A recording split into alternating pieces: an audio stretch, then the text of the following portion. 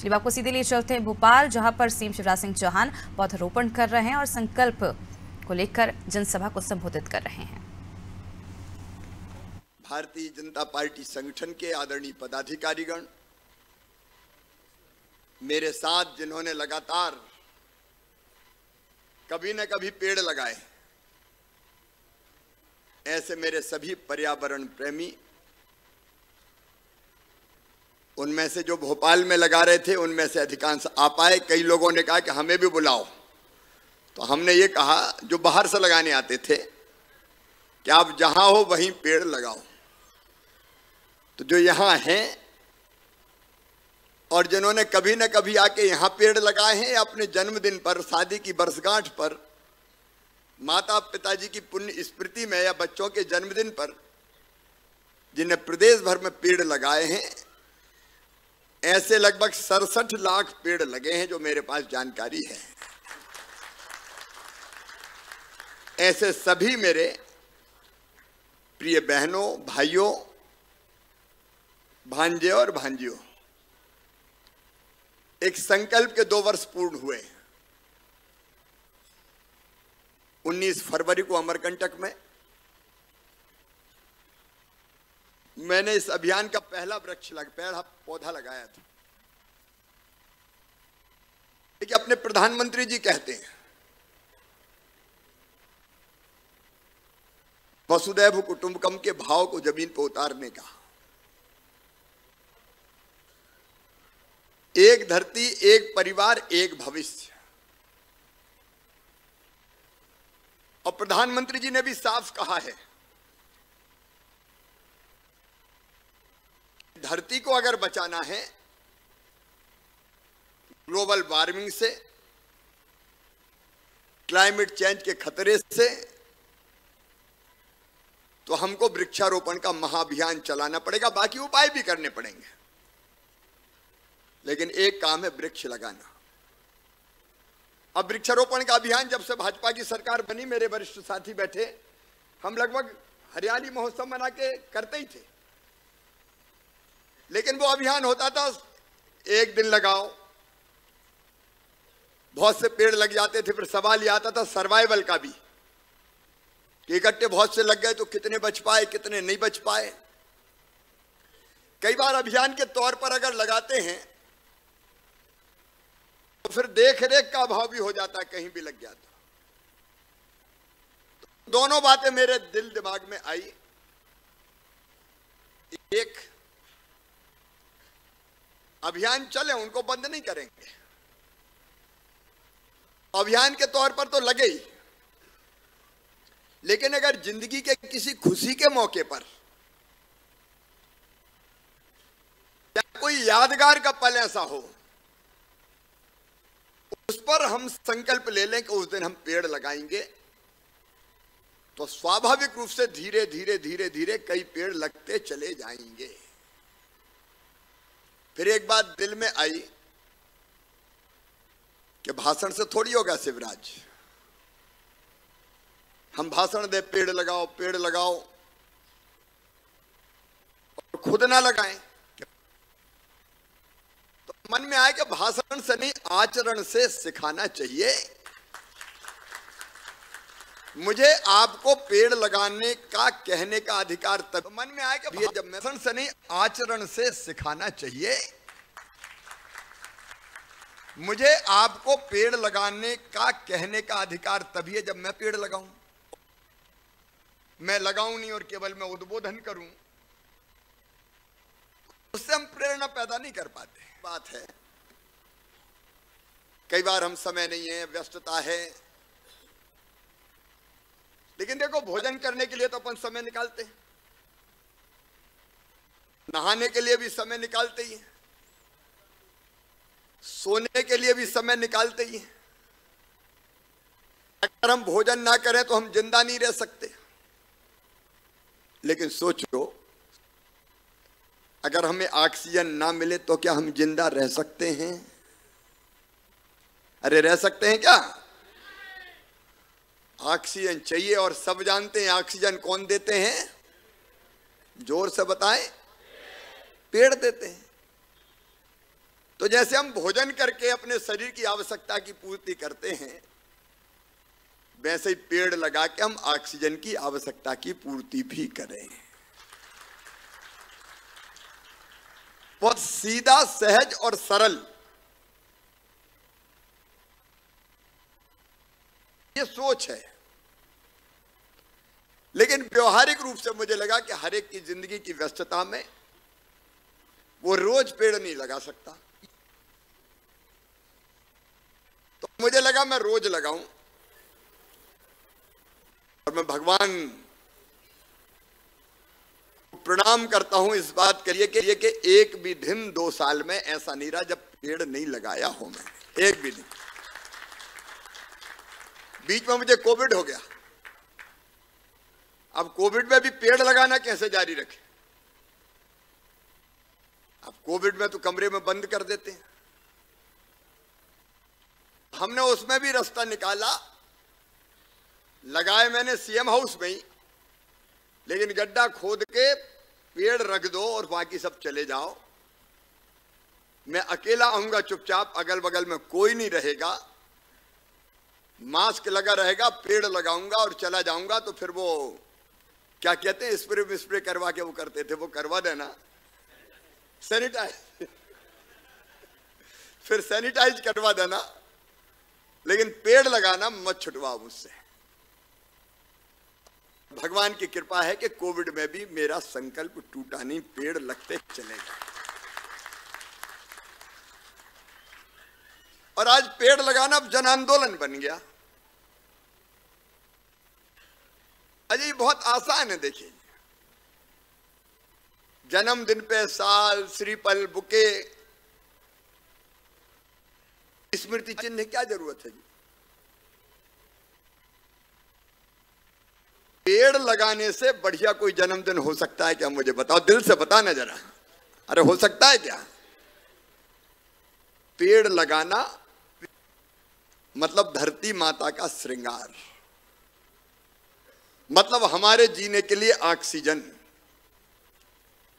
मतलब पक्षियों को बैठने का स्थान। उसमें फल लगेंगे तो वो छाए देगा। कई पक्षी अपना घर बनाएँगे उस पे। उसी में जो फल लगेंगे वो खाएँगे। एक व्यस्क पेड़ को देखना आप। पीपल के, नीम के, बट के कितनी कितनी जिंदगियाँ पलती हैं उस पे। आप कभी ध्यान से देखना, शाम के समय पेड़ के ऊपर कितने पक्षी रात गुजारते हैं। कितनों के घोंसले बनते हैं और केवल पक्षी नहीं होते। एक बार मैंने एक बट के वृक्ष पे देखा, हज़ारों जीव, कीट, पतंगे, चीटा, चीटी अलग अलग तरह के। कोई ऊपर जा रहा है, कोई नीचे आ रहा है। पेड़ लगाना कितनों को जीवन देना है, बहनों और भाइयों? कितनों को जीवन देना है? फल मिले, फूल मिले, साँसें मिले, ज़िंदगी मिले, छाव मिले, आश्रय मिले, इससे बेहतर और कौन सा काम हो सकता है? और इसलिए एक अभियान जन्मदिन पे पेड़ लगाओ। शादी की बरसगांठ मैरिज एनिवर्सरी पेड़ लगाने से बढ़िया कैसे मना सकते हैं आप और बताओ? पति पत्नी के प्रेम संबंध भी प्रगाढ़ हो, और लोगों के काम भी आए। बच्चों का जन्मदिन मनाओ, पेड़ लगाओ। इतने छोटे छोटे बच्चे पेड़ लगाने आते हैं रोज कई बार। मैं पेड़ लगाऊँगा, पानी डालते हैं, पेड़ पकड़ते हैं। बचपन से संस्कार दे दिया आपने। एक अच्छा काम करने का संस्कार। और माता पिता की पुण्य स्मृति में पेड़ लगाओ। तो वर्षों तक रहेगा माँ की स्मृति, पिताजी की स्मृति। मुझे कहते हुए खुशी है। हमने एक अंकुर अभियान बनाया। अं, अंकुर अभियान चलाया। और उसमें यही कहा कि भाई जन्मदिन पे पेड़ लगाओ शादी की वर्षगांठ पे पेड़ लगाओ और पेड़ अपलोड करो। कई बार अपन लगा के भूल जाते हैं। आप पेड़ अपलोड करोगे सोशल मीडिया पे लगाते समय करो तीस दिन के बाद करो पचहत्तर दिन के बाद करो। तो ऐसे सैतीस लाख दस हज़ार एक सौ बानवे पेड़ लगाए गए जिनको लगा के अपलोड किया गया। पंद्रह लाख नवासी हज़ार तीन सौ चालीस लोगों ने। ये अपलोड वाले हैं, कई लोग अपलोड नहीं करते। हैं आज यहाँ भी जो आपने पेड़ लगाए, आपको क्यूआर कोड दिया गया है। ये मेरा क्यूआर कोड है। इससे आप पता कर सकेंगे कि आपके पेड़ की स्थिति क्या है। तो ये लगाना नहीं, बचाना भी है। मुझे खुशी है कि मध्य प्रदेश की धरती पर यह अभियान अब विराट जन आंदोलन बनता जा रहा है। अध्यक्ष जी, आज विकास यात्राएँ भी पेड़ लगा के शुरू हो रही है मध्य प्रदेश में। अलग अलग अवसरों पर अब पेड़ लगते हैं। ये धरती को बचाने का अभियान। प्रधानमंत्री श्रीमान नरेंद्र मोदी जी के संकल्प को पूरा करने का अभियान। नेट ज़ीरो का टारगेट प्राप्त करना है 2070 तक। उसमें पेड़ों की बड़ी भूमिका रहेगी। प्रधानमंत्री जी ने जो पर्यावरण बचाने का अभियान हाथ में लिया है मध्य प्रदेश अग्रणी भूमिका निभा रहा है। अब हम तो पानी पे भी सोलर पैनल बिछा रहे हैं, ओंकारेश्वर में। तीन मई को सांची पहली सोलर सिटी होगा हिंदुस्तान की। पर्यावरण मंत्री बैठे हैं हमारे। तो एक नहीं अनेकों काम चल रहे हैं। आज मैं इस अवसर पर, मैंने पेड़ यहाँ भी लगाए बारह राज्यों में पेड़ लगाए मैंने क्योंकि बीच में बाहर जाना पड़ा तो वहाँ भी पेड़ लगाना है। अच्छा, लोगों को बड़ा सुखद आश्चर्य होता है। जब कोई पेड़ लगाता है एक और हमने एक वायुदूत वायुदूत एप्लीकेशन भी बनाया जिसमें प्रदेश के अंकुर अभियान से जुड़ाव रखने वाले देश विदेश के लोग भी रजिस्ट्रेशन करा के पौधारोपण के समय सेल्फी लेकर अपना फ़ोटो अपलोड कर सकते हैं। अच्छा देखो, अपने जितने बाहर से लोग आए भोपाल में आदरणीय राष्ट्रपति जी सहित, धार्मिक हमारे गुरुओं सहित अलग अलग लोगों ने यहाँ पेड़ लगाए। अभी दुनिया भर के लोग आए। इंदौर प्रवासी भारतीय सम्मेलन में ग्लोबल इन्वेस्टर समिट में। तो वह ग्लोबल गार्डन बन गया इंदौर में, यहाँ सबने पेड़ लगाए। जी ट्वेंटी हो टी ट्वेंटी हो, पेड़ लगाते हैं सबसे पहले आके। तो मध्य प्रदेश अकेला पेड़ नहीं लगाता, मध्य प्रदेश आने वालों से भी पेड़ लगवाता है और पेड़ लगाना सिखाता भी है। हमारे राष्ट्रपति जी, केंद्रीय मंत्रीगण, यहाँ तक के कूनों में प्रधानमंत्री जी ने पेड़ लगाया। जब चीता छोड़ने आए थे तो माननीय प्रधानमंत्री जी ने भी वृक्षारोपण किया। अलग अलग सामाजिक कार्यकर्ता, आध्यात्मिक संत, सांस्कृतिक कार्यकर्ता, व्यवसायी एकेडमिक राजनयिक पर्यावरण प्रेमी, विशेषकर मेरे बेटा, बेटी, ये जो यहाँ खड़े हैं पर्यावरण को बचाने के अभियान में। पत्रकार मित्रों ने पेड़ लगाए। मैं उनको भी हृदय से धन्यवाद देता हूँ। मैं समझता हूँ कि आपका भी जन्मदिन अब पेड़ लगा के ही प्रारंभ होता है। उन्होंने भी प्रेस ने, मीडिया ने इस अभियान को व्यापक स्वरूप प्रदान किया आज विभिन्न हमारे गणमान्य साथी मंच पर बैठे हुए मेरे सभी सहयोगी अध्यक्ष और मंत्री गणों सहित सभी सामाजिक कार्यकर्ता, लगभग 730 पौधे आज यहाँ रोपने का काम हुआ, श्री राम वन ये बना है। ये राम वन मध्य प्रदेश का सबसे बड़ा मानव निर्मित शहरी वन होगा। इसको वन बना रहे हैं, जंगल। घने पेड़ लग रहे हैं। बीच बीच में जब ज़्यादा पेड़ लगाने होंगे, तब यहीं आएँगे। भोपाल एयरपोर्ट के ठीक बाहर। दुनिया आएगी तो देखेगी, भोपाल का पर्यावरण प्रेम, मध्य प्रदेश का पर्यावरण प्रेम। मैं राम आस्था मिशन का अभिनंदन करता हूँ। उन्होंने इसकी देखभाल के जिम्मा में भी सहयोग करने का फैसला किया है। तो उनका भी ताली बजा के स्वागत करें। यहाँ एक लाख चालीस हज़ार पेड़ लगेंगे। धीरे धीरे ऐसे जंगल बनते जाए। धरती हरी भरी होती जाए। केवल इंसान काय के लिए? पशु, पक्षी, कीट, पतंगे, जीव, जंतु भी मुस्कुराए। अपन तो चीता ला रहे हैं। थोड़े बहुत नहीं, अब थोक में आ रहे हैं। कल बारह और आ गए। तो सबके लिए यह धरती, सबके कल्याण का कारण बने और आने वाली पीढ़ियों के रहने के लायक ये धरती हम बना पाए। इस अभियान में सहयोग देने के लिए मैं आप सबका हृदय से आभारी हूँ। हृदय से आभारी हूँ सचमुच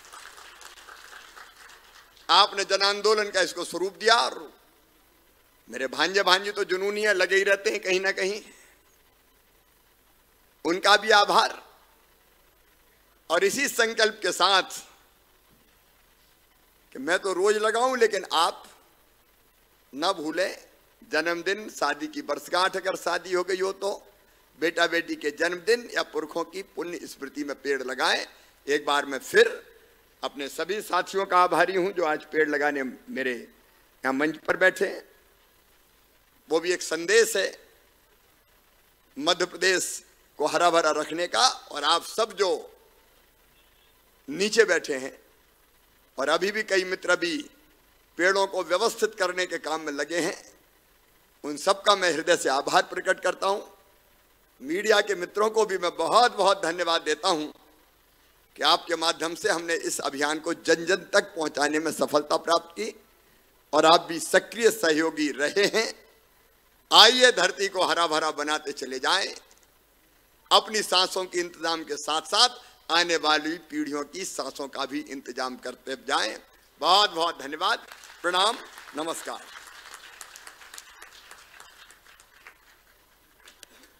धन्यवाद, मुख्यमंत्री महोदय। सामने, मंच के ठीक सामने तिरंगा लहरा रहा है। ये हमारी शान है, आन है, वान है। इसमें भी हरा रंग है, जो प्रकृति का रंग है। और एक बड़ी बात कि अब पेड़ लगाना राष्ट्र धर्म की तरह अपेक्षित हो गया है और उसे लोग मानने भी लगे हैं। अब आज के इस कार्यक्रम के अंतिम पड़ाव पर आभार व्यक्त करने के लिए मैं नगर पालिका निगम भोपाल की महापौर श्रीमती मालती राय जी से आग्रह करूँगा।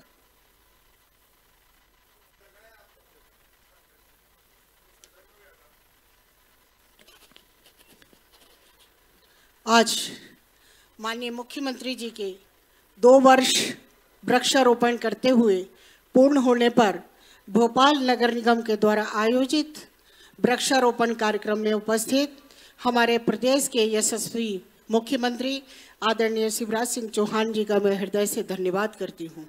मैं धन्यवाद करती हूँ प्रदेश के अध्यक्ष आदरणीय बी डी शर्मा जी का। मैं धन्यवाद करती हूँ प्रदेश के संगठन महामंत्री आदरणीय हितानंद जी का। मैं धन्यवाद करती हूँ मंच पर उपस्थित मध्य प्रदेश शासन के समस्त मंत्रीगणों का। मैं धन्यवाद प्रस्तुत करती हूँ भारतीय जनता पार्टी के समस्त हमारे पदाधिकारियों का। मैं धन्यवाद करती हूँ सामने बैठे हुए जन समुदाय का। मैं धन्यवाद करती हूँ नगर निगम के समस्त अधिकारियों का, माननीय कलेक्टर महोदय का, उनकी टीम का। मैं हृदय से धन्यवाद करती हूँ। Electronic media, print media, police प्रशासन का भी मैं हृदय से धन्यवाद करती हूँ। और जितने भी लोग इस दो वर्ष में सहयोगी रहे हैं, मैं उनका भी हृदय से धन्यवाद करती हूँ। निवेदन है। कृपया बीच रास्ते में खड़े न रहें, हमारे सम्माननीय अतिथि यहाँ से जब प्रस्थान करेंगे तो वे निर्बाध रूप से अपने, और आप सभी के लिए यहाँ स्वल्पाहार की व्यवस्था है। जब आप यहाँ से प्रस्थान करें तो जहाँ चित्र प्रदर्शनी समाप्त होती है, उसके बाद में सभी के लिए स्वल्पाहार की व्यवस्था की गई है अपने स्वल्पाहार के पैक